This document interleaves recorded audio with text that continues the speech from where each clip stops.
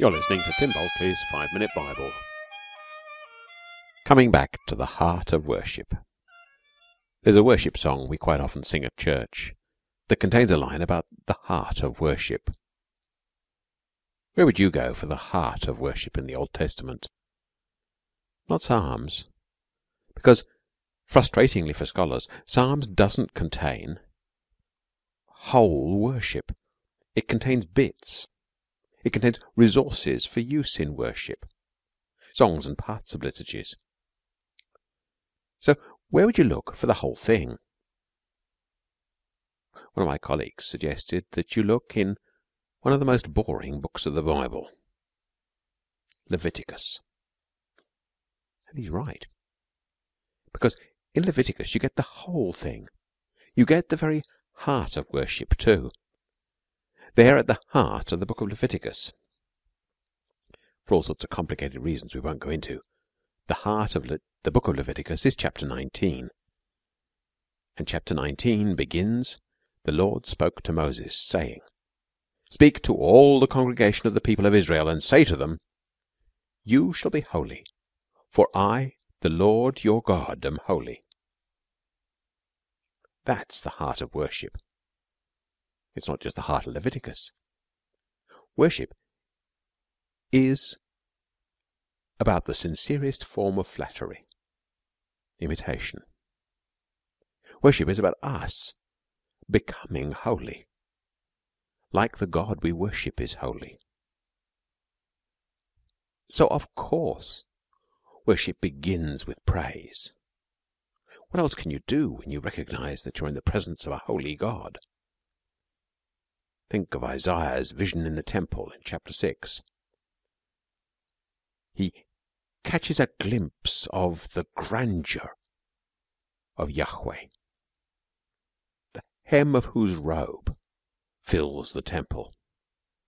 And he catches a glimpse of those mysterious seraphs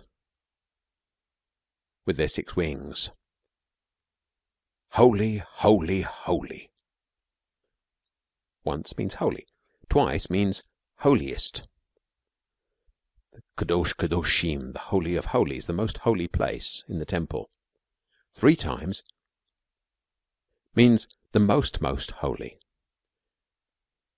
He catches a glimpse of this holy and awesome God. He catches an echo of the heavenly praise of God. And that's obviously the first thing we do in worship. But then like Isaiah and like Leviticus, we need to move on to the second thing.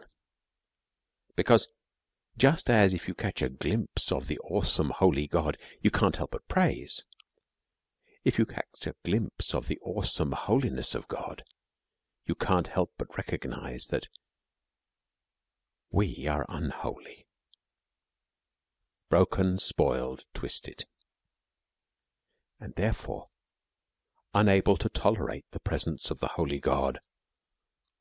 And like Adam and Eve in the garden, we'll hide.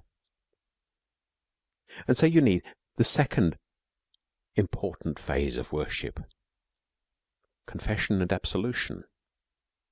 And that's why many of the sacrifices in Leviticus are all about just that getting put right again with God. And if our worship doesn't contain that, then whatever we're worshipping, it's not the holy God. But if you have been put right with the holy God, then surely you must thank God for the wonderful gift. And so again, that's why so many of the sacrifices in Leviticus are hazeh b'todah, sacrifices of thanksgiving.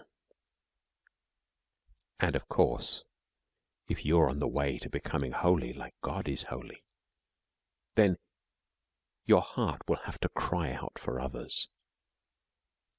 You see, the heart of worship in Leviticus, or indeed in Isaiah, is that old fashioned acronym, ACTS. A C T S. Adoration, confession, thanksgiving, and supplication, an old fashioned word for asking God for stuff, for others particularly though also for ourselves.